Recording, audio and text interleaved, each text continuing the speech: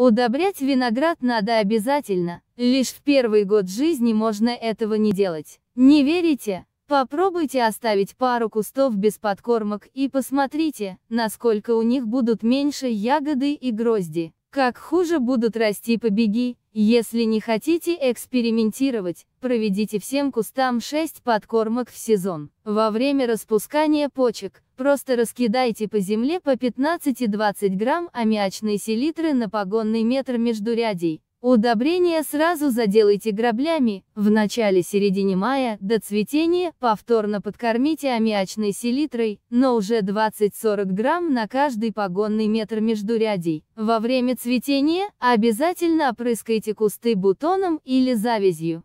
Сразу после цветения подкормите кусты раствором нитрофоски, спичечный коробок на 10 литров воды. От этой подкормки сильно зависит урожайность кустов, размер и количество ягод в грозди. Поэтому проводить ее надо обязательно. После этой подкормки азот надо полностью исключить из рациона винограда, иначе кусты начнут резко наращивать зеленую массу в ущерб урожаю. Подкормка в июле, перед созреванием ранних сортов, на 10 литров воды возьмите 30-40 грамм суперфосфата и 10-20 грамм сернокислого калия, или 40-60 грамм демофоски. В середине сентября-октябре под перекопку междурядий внесите золу 1 кг на 1 квадратный метр и навоз 8-10 кг на 1 квадратный метр. Кстати, золу можно заменить суперфосфатом 35-40 грамм на 1 квадратный метр. После того, как внесете удобрение по поверхности почвы, обязательно проведите перекопку. Неплохо работает и такая смесь, 50-60 грамм суперфосфата и 30-40 грамм калийной соли на 1 квадратный метр.